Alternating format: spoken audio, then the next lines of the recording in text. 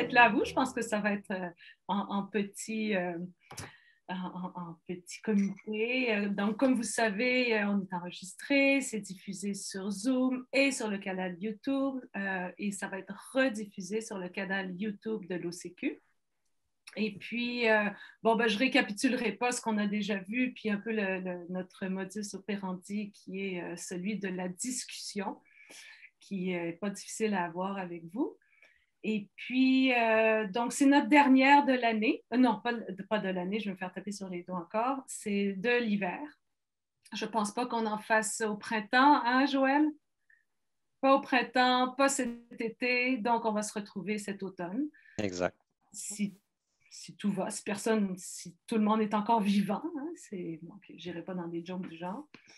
Et puis, euh, voilà. Donc aujourd'hui, je vous propose euh, deux épisodes de la mini-série de quatre épisodes, des demi-heures de, 26 minutes, à peu près 27 minutes, de la série euh, de John Berger, animée par John Berger, Ways of Seeing.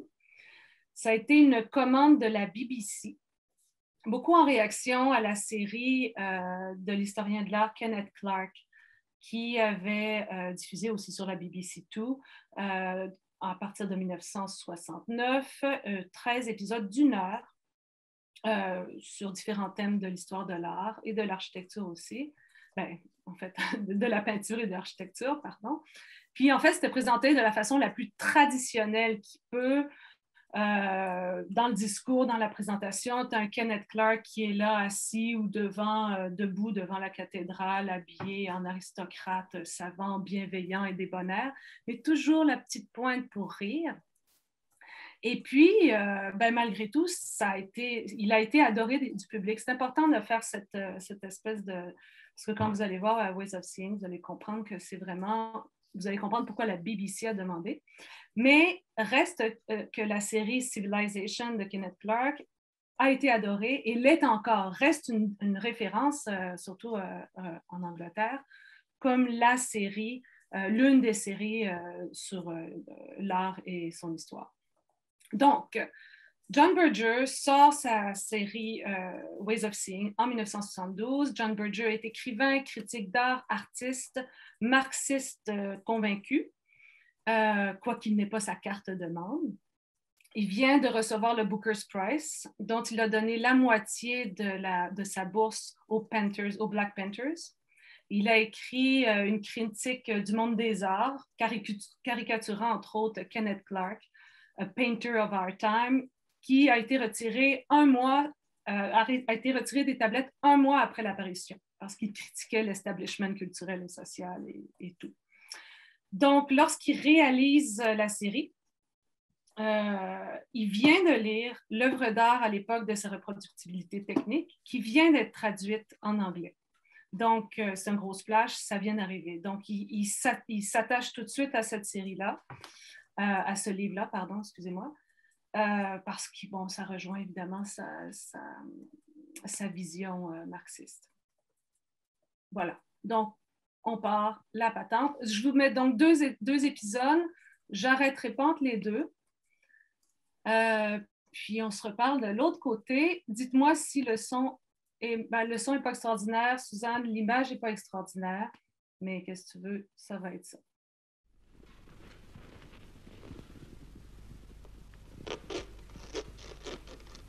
This is the first of four programs in which I want to question some of the assumptions usually made about the tradition of European painting. That tradition which was born about 1400, died about 1900. Tonight, it isn't so much the paintings themselves which I want to consider as the way we now see them, now in the second half of the 20th century. Because we see these paintings as nobody saw them before. If we discover why this is so, we shall also discover something about ourselves and the situation in which we are living.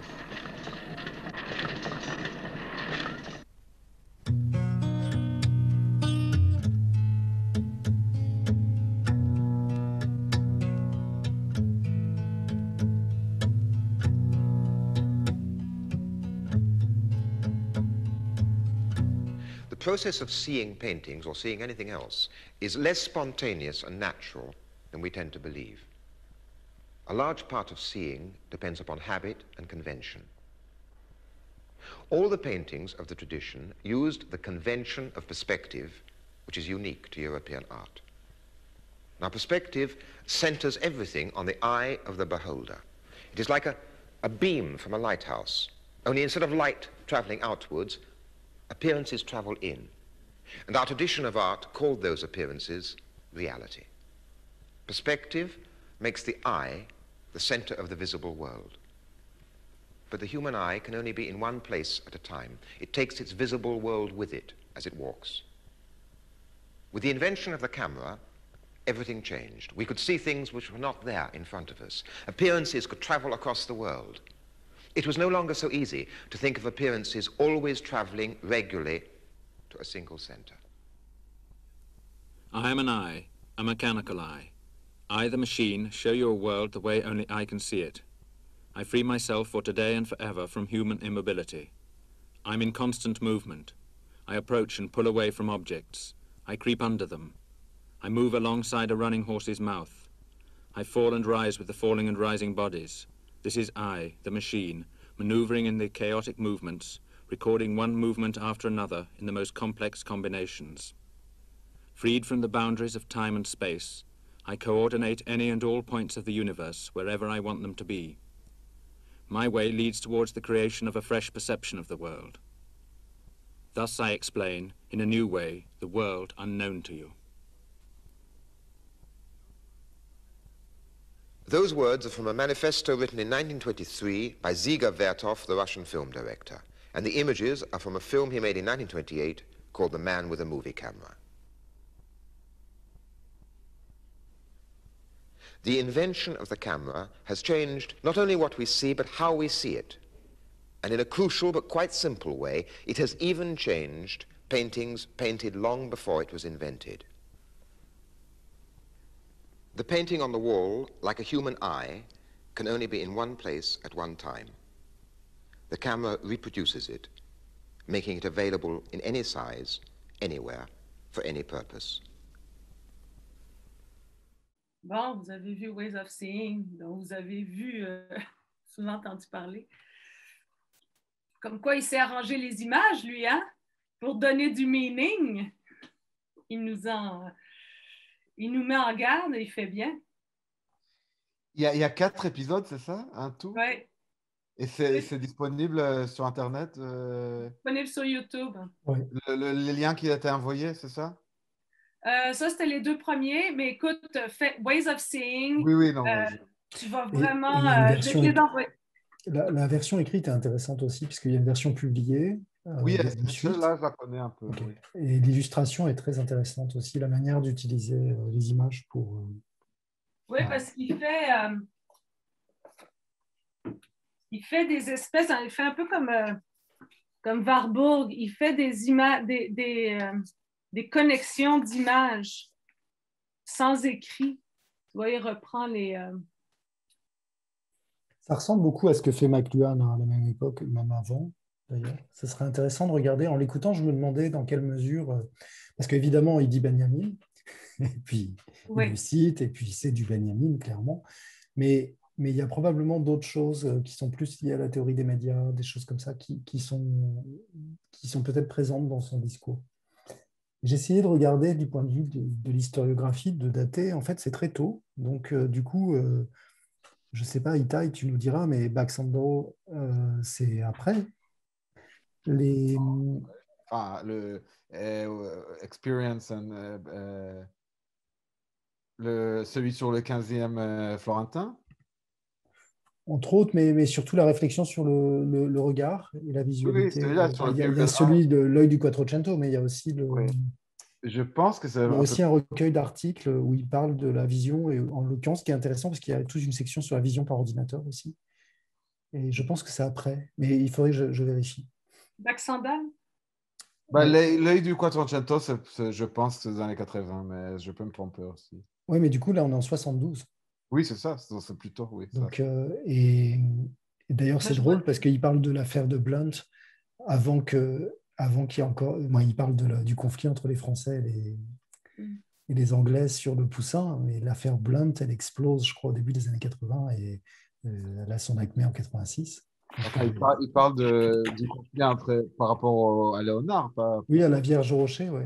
Ouais, Oui. pas le poussin. Ah oui, c'est pas Poussin, c'est Poussin en 86. C'est- pour ça que je, je m'emmène. Euh, Et, et, euh, et- et du coup, euh, l'autre truc aussi, c'est dans quelle mesure, la question que je me posais, c'est dans quelle mesure les, les discours sur la culture visuelle euh, sont déjà élaborés dans l'historiographie, parce que c'est au début des années 90 que Mitchell publie, c'est ça. fin Moi, des je- années 80, la plupart des Mm. choses. Il y a la polémique avec l'enquête qui est lancée en 96.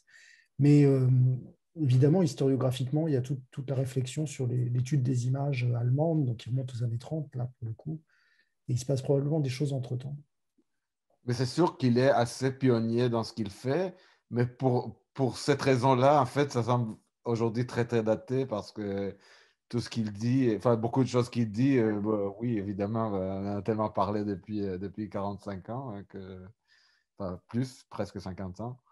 En fait, ce qui peut être intéressant dans, ce- dans ce- dans ce sens-là, c'est que ça devient un document historique maintenant qui nous permet d'avoir un regard sur cette époque et sur l'histoire de l'art de cette époque-là.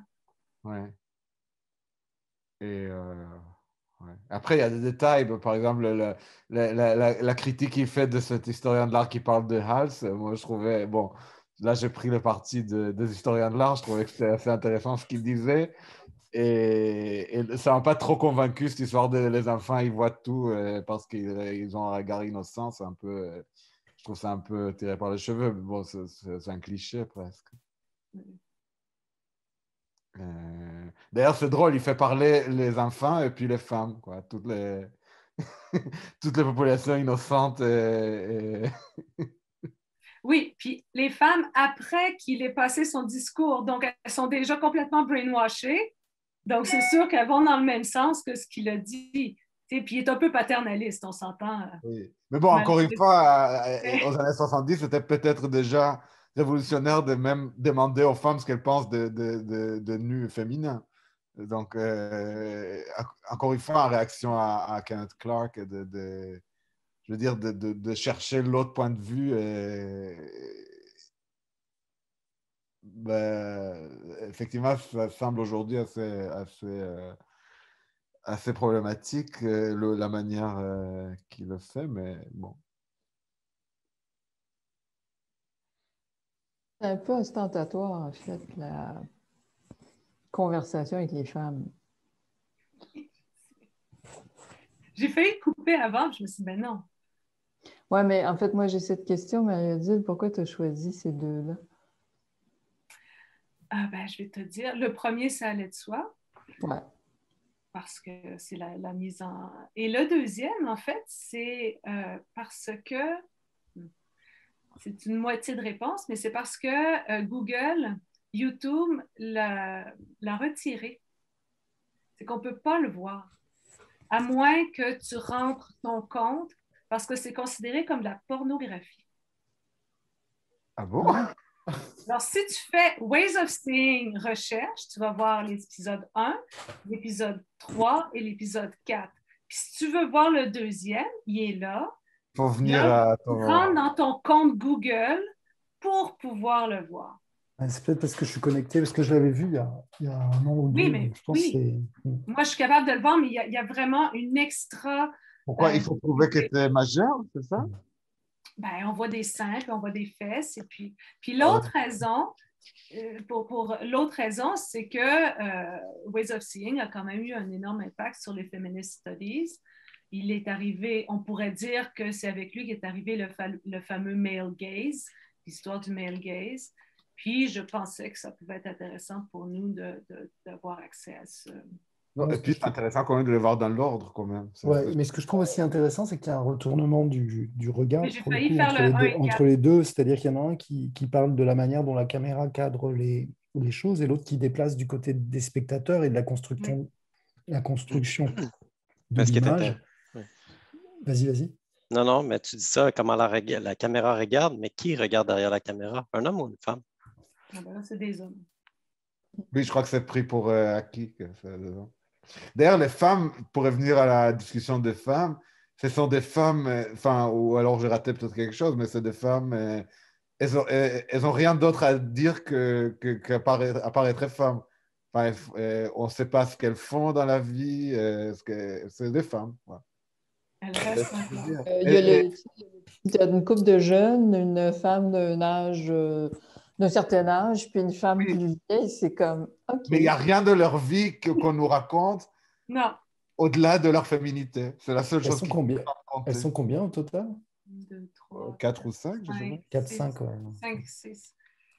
Mais c'est assez drôle, c'est des femmes. euh, Ouais, mais enfin, c'est classique dans les années 70 d'essentialiser. euh, pour le Mais, coup, mais la ce que je trouve féminité. intéressant, c'est la, la façon dont ils vont filmer les femmes.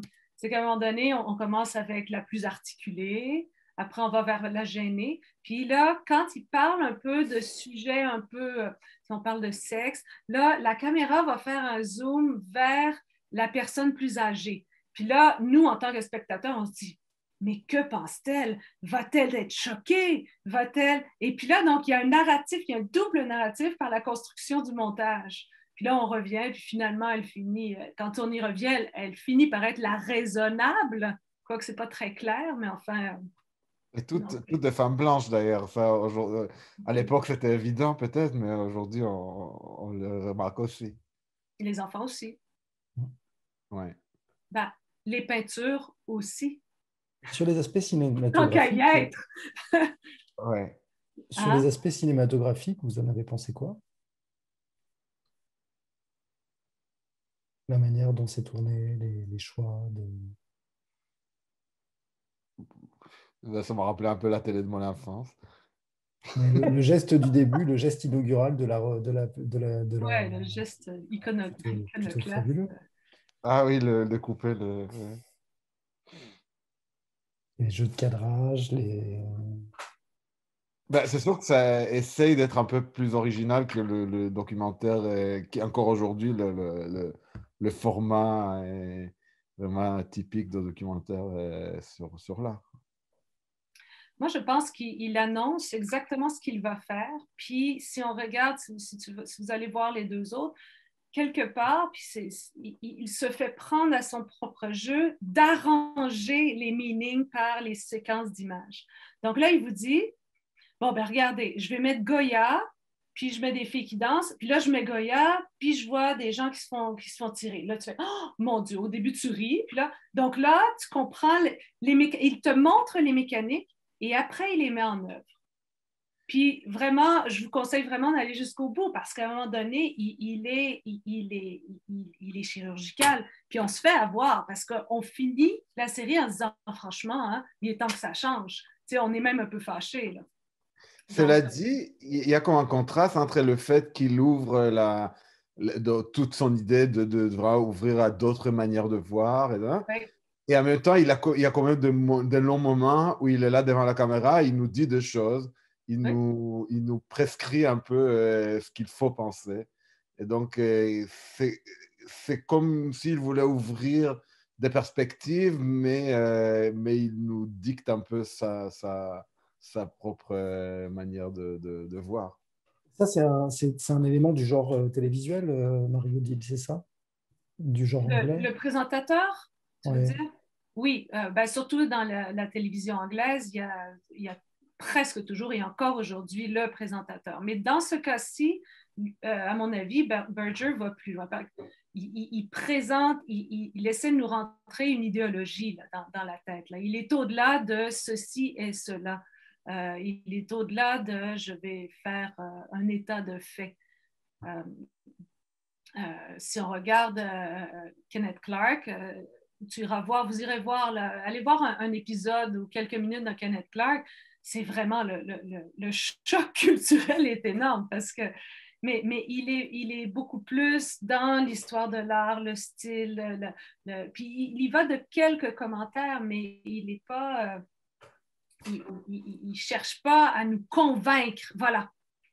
Puis ça, c'est vraiment typique de Berger. Puis je pense pas qu'il y, euh, qu'il y a des choses qui ont été refaites dans le même. Mais c'est aussi, ça vient du fait que, que Kenneth Clark, il ne cherche pas à nous convaincre parce qu'on est convaincu d'avance. parce qu'il dit euh, ce qui est la, la- la vérité euh, acceptée par tout le monde à son époque.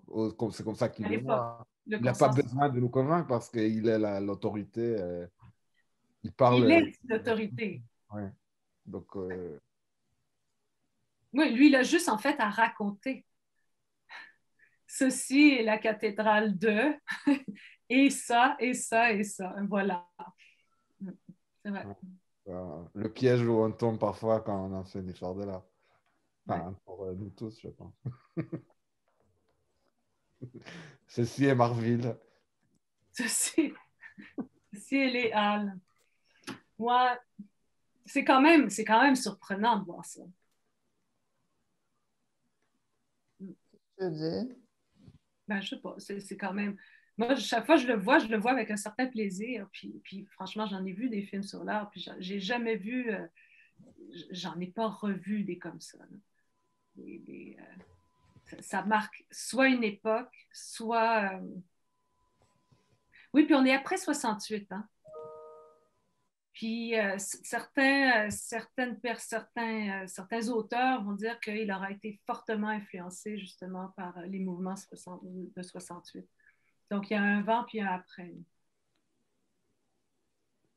Donc on est dans cette mouvance- mouvance-là. C'est un ouvrage qui a eu beaucoup de fortune critique. Est-ce que tu peux nous en parler un peu? Je pense qu'il y a eu des, des reprises, des, des hommages, des, Ah, des ben, choses comme ça. Il a été, euh, il, a, il a, Ways of Seeing est repris dans les Visual Studies, dans les euh, Feminist Studies, évidemment. Donc, en fait, il, dépasse de loin, il, est plus allé de, de- ce côté-là que de notre côté de, l'histoire de l'art. Euh, plusieurs écrits euh, plus récents du côté plus de la recherche. Je pourrais vous envoyer des articles là, si ça vous intéresse. Euh, mais pas tant que ça, en fait. Pour, pour, pour l'impact qu'il aura eu, euh, il n'y aura pas eu tant de, re- de recherche approfondie sur, euh, sur ce qu'il a fait. Mais il est souvent mentionné, cité, c'est vrai, on le Il est voit. souvent mentionné. ouais. On sait tous qu'il existe, mais après, on, on sait.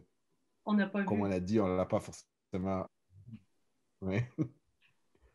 Mais tu sais, il y a un livre qui a été écrit en 2015, On John Ber- Berger Telling Stories. Donc là, c'est un recueil d'articles de, différents auteurs.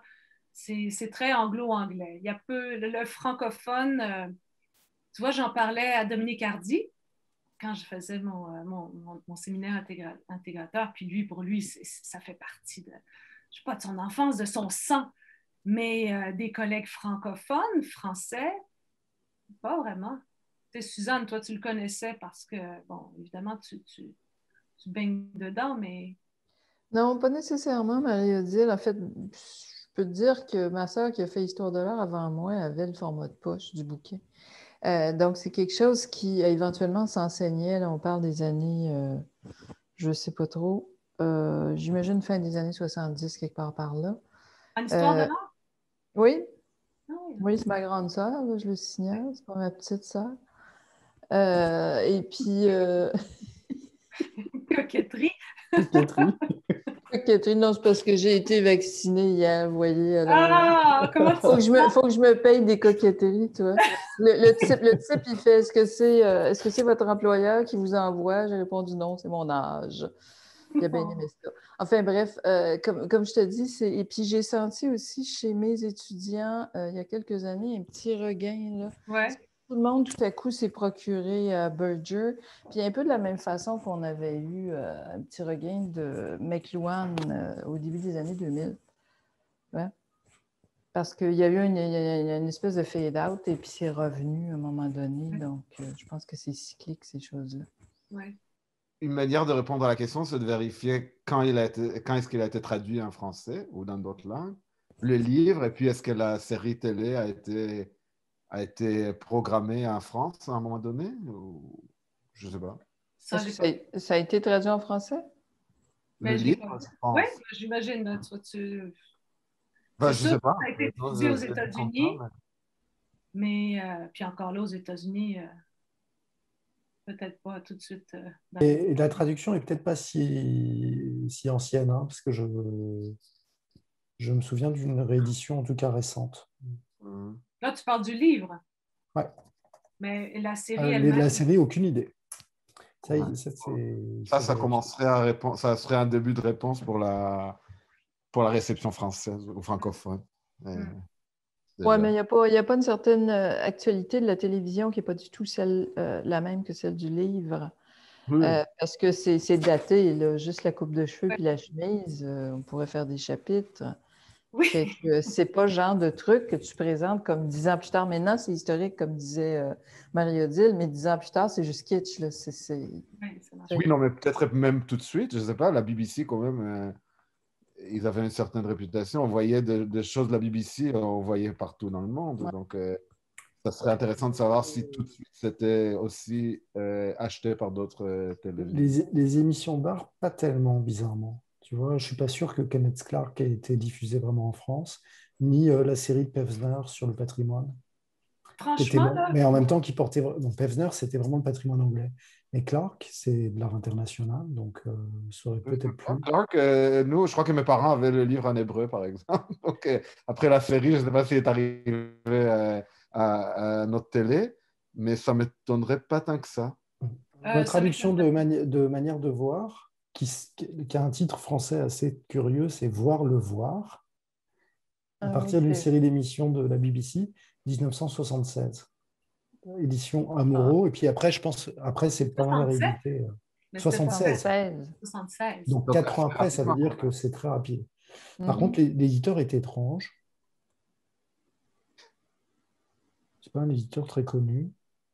Peut-être qu'il était connu à l'époque. Là, tu Amoro, parles du livre encore. collection pas- textualité. Je me demande si c'est pas un truc de, de- qui faisait de la sémiologie ou des conneries comme ça? Bah, en tout cas, ça serait intéressant de savoir si la série était vendue C'est. Bernard, c'est Bernard euh, l'éditeur, le directeur de la publication de la collection. Pour ce qui est de, de, de, de l'édition euh, filmée, en fait, de la série, à l'époque, euh, surtout la France et l'Angleterre, ça s'échange. Encore aujourd'hui, ça a de la misère à s'échanger des émissions. Fait qu'à l'époque, je pense bien que. Puis ça rentre pas dans, dans, dans la, le format. Tu sais, à l'époque, là, c'était Jean-Marie Drault, je sais pas si ça vous dit des choses, mais c'était des, des réalisateurs qui étaient à l'ORTF, euh, qui, qui travaillaient sur place et puis qui faisaient des. des qui, qui parlaient d'art surtout français avec des entrevues avec euh, les Giacopetti de ce monde. Ils n'étaient pas. Mais euh, Bernard Quincen, c'est intéressant, hein, c'est le fondateur de. C'est, pardon. Oui, c'est un des fondateurs de l'Université de Vincennes en 68, donc c'est vraiment la contre-culture euh, universitaire française. Et après, un des, des créateurs du, du monde diplomatique. Et en, en 81, quand les socialistes arrivent au pouvoir, il, dirige la mission interministérielle d'information scientifique et technique, un moment où il y a pas mal de, de travaux sur les, ba- les bases de données. Enfin, c'est, c'est pas rien, en fait, que ça soit publié là, à cette date-là. Et pour ce que tu dis, Marie-Odile, peut-être pas alors en France, mais peut-être ailleurs aussi. ah, sûrement ailleurs. Bah, les, CB les CBC, peut-être déjà. CBC, je suis certaine que sur CBC, ça a été diffusé, mais pas sur Radio-Canada. Ça, je suis prête à, à, à mettre ma main au feu. là. Pour de Comment, tu peux, vé- comment tu peux vérifier ça? Euh, je vais, c'est pas évident à vérifier. Je peux peut-être appeler aux archives de Radio-Canada. Puis, euh, Euh, Là, tu as mis ta main au feu, donc euh, Ouais, c'est mieux de ne Quoi? pas appeler. Ouais, t'as c'est ça. un là, ils sont en train de. mais mais il y a moyen, je, je sais pas, je vais essayer de voir comment je peux voir aussi France Télévisions. Ben là, c'était pas France Télévisions, ça m'étonnerait. Euh, puis tu sais, je suis pas certaine que ça a été diffusé aux États-Unis parce qu'ils ils sont assez puritains pour pas diffuser ce genre de choses-là. Est-ce que tu peux nous parler des autres choses qu'il a fait, euh, Berger, après? Il a fait, euh, mon Dieu, là, moi pas. euh, oui. Ok, non, Il mais a je- fait. C'est, si jamais ça t'avait ça en tête, parce que je vois les titres et j'aurais, je, je suis curieux. Euh, ben, il a fait une autre émission euh, qui en 85 qui s'appelle About Time, où il parle euh, du temps. Euh, bon, évidemment, About Time. Euh, c'est très subjectif, je l'ai vu, c'est assez beau. Puis il parle, en fait, c'est un rapport avec aussi la mort de son père. Donc, il, dessine, c'était quelqu'un qui dessinait. Il a écrit aussi un livre sur Picasso. C'est quoi déjà qu'il a écrit sur Picasso? Il a un livre où, finalement il remet en doute son génie, carrément. En fait, une partie de ses œuvres ne serait pas aussi géniale que ce que le- le- le- l'ensemble de la collectivité le pensait. Quoi d'autre qu'il a fait? Mon Dieu, il en a. Il n'a pas fait vraiment d'autres séries. Il, a- s'est essayé à faire une autre série à la télévision, mais après, il s'est mis à, à écrire des scénarios de films.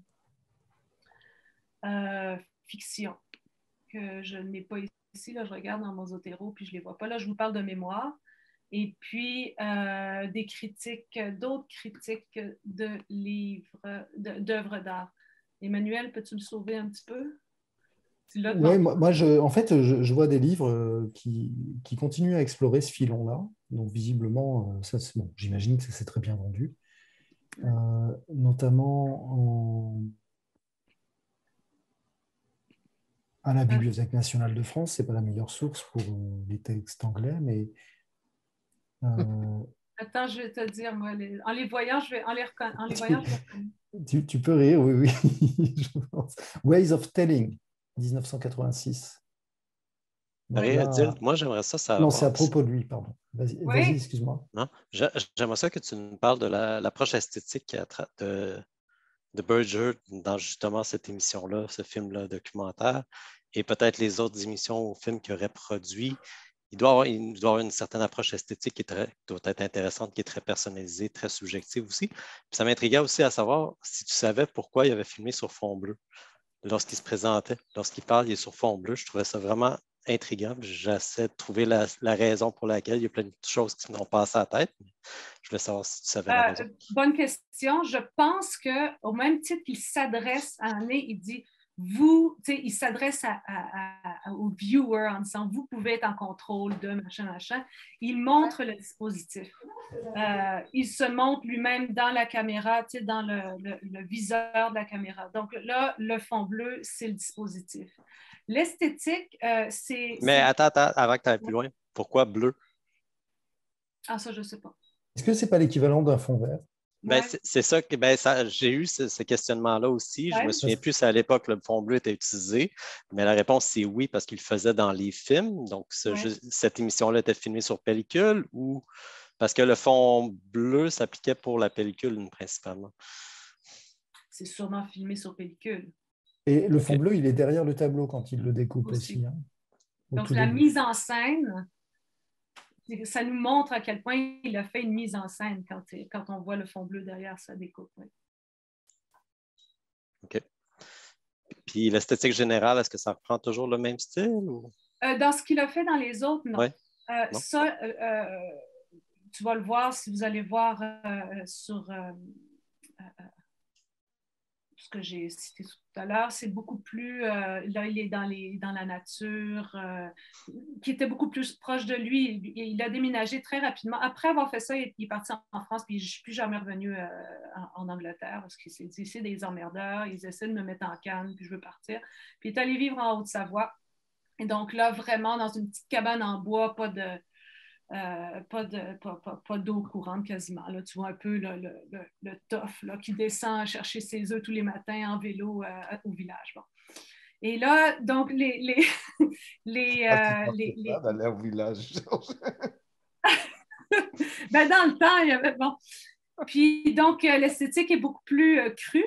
Et puis, il a fait aussi beaucoup de photos, c'est ça. Il a fait beaucoup d'albums de photos où il travaillait avec un photographe dont je ne me rappelle plus le nom, mais qui est aussi, qui travaille dans Ways of Seeing, et où il, pho- il photographe euh, les vrais gens, excusez, le paysan, l'ouvrier, la vache couchée qui rumine. Le, il est vraiment dans. Puis là, ben, à côté, il écrit des. Il y a des poèmes ou il y a des pensées. Ou, euh, bon. Donc, euh, ça, ben, ça c'est c'est tout son, son rapport au. Ben, avec tout son dialogue euh, marxiste. Là, donc, il est vraiment. Donc, ça, je pense qu'il a fait un ou deux euh, recueils, mais ça, il faudrait voir. Ça, c'est clair qu'il y avait ça. Donc, l'esthétique, elle est plus vers. Après, vers le noir et blanc, puis vers le, grain de, la vérité. Ici, euh, il, il travaille avec Michael Dibb. Ça, c'est bien, bien, bien important parce que c'est lui, finalement, qui est arrivé puis qui proposait des maquettes de séquences euh, d'images. euh, aussi, où ils arrangeaient, vous allez le voir, vous allez voir le, troisième ou le quatrième, là, où ils font, euh, où, ils rajoutent avec à l'aide de graphiques euh, des phrases sur certaines phrases, pour, sur certaines peintures, pour vraiment marquer des points. Puis ça, c'est vraiment, c'est l'esthétique qui est propre à, à- Ways of Seeing, puis à Michael Dibb. Puis tantôt, tu disais que c'était cru dans, dans l'autre. euh, cru dans le sens plus, euh, plus, plus une esthétique euh, de la nature. Je ne suis pas sûr qu'est-ce que ça veut dire. Mais est-ce que ça bouge? C'est statique? C'est une caméra qui se promène? C'est quoi? Ça a l'air de Ah, quoi? ben, c'est une caméra, ah, je comprends ce que tu veux dire. C'est une caméra qui le suit. On le voit en train de faire son petit café le matin, là, sur son petit réchaud. Là, puis là, donc, c'est une caméra plus à l'épaule euh, qui, qui le regarde. Puis là, on va prendre le café avec lui dehors. On s'assoit. Puis là, on, on fait un zoom sur, euh, sur, le, sur, sur les montagnes de la Haute-Savoie. C'est plus cette espèce d'ambiance euh, qu'on voit. C'est c'est a way of seeing. That's another way of seeing. Are we extending our seeing? Ben oui. Non, c'est juste, que je trouvais que ça avait l'air pour moi, c'était quasiment un poète. J'aimais ça l'écouter. J'avais le goût de l'écouter. C'était hypnotisant. Ça, ça- son approche didactique, très pédagogue. Euh, J'aimais le- fait qu'il apportait sa propre opinion, son opinion très personnalisée. Puis justement, qu'il disait aussi à la fin de l'épisode, je vais vous proposer d'autres choses, mais soyez sceptiques aussi de ce que je vais vous proposer. C'est une proposition, ce n'est pas la seule façon de voir. Ouais, sauf qu'à la fin, là, tu verras qu'il ne nous propose plus d'être sceptique. Il nous, il nous Non, mais, non, mais il commence son œuvre comme ça. Peut-être Oui. pas, mais il commence l'œuvre en disant Soyez toujours sceptique de moi. Oui, Alors, je, je- mais j'apporte mon opinion. Je vais vous diriger, je vais vous guider, mais vous devez me remettre, je devais- vous devez me confronter. C'est ça qui le provoque, je trouve. C'est ça qui est intéressant. mais c'est quelqu'un qui aime le dialogue. Clairement, après, là, on le voit. Mhm. Euh, et c'est un poète. C'est un poète aussi. Bon, ben, je suis contente. Vous avez, vous avez aimé ça. Ça, hein? ça bouscule un peu après ce qu'on avait vu il y a un mois qu'il y avait un autre rythme, on s'entend? C'est peut-être une blague contre Kenneth Clark. Je suis en train de regarder euh, des plans de Kenneth Clark et il est euh, sur fond de Notre-Dame, vous allez voir. Clairement, c'est avec un fond bleu, un truc pareil. Vous Ah voulez ouais? voir Ouais, mais tu ne peux pas partager. Euh, Ah. Non, j'ai pas le droit. Ah ben non, mais là, sur, euh, mais là dans Tu la dois lui donner les pouvoirs. oui. C'est pas moi qui donne les pouvoirs.